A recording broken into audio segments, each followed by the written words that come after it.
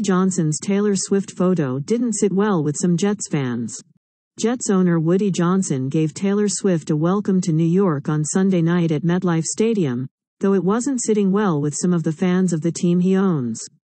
Swift, 33, has been rumored to be dating Kansas City Chiefs tight end Travis Kelce, also 33, and was on hand for the second Sunday in a row to watch him play. But Johnson and his son Jack appeared to take a trip to pose for photos with the pop icon during New York's 23-20 loss to Kansas City. In a post on X, formerly Twitter, Johnson shared a photo of himself alongside Jack and Swift inside a suite at the Jets' home.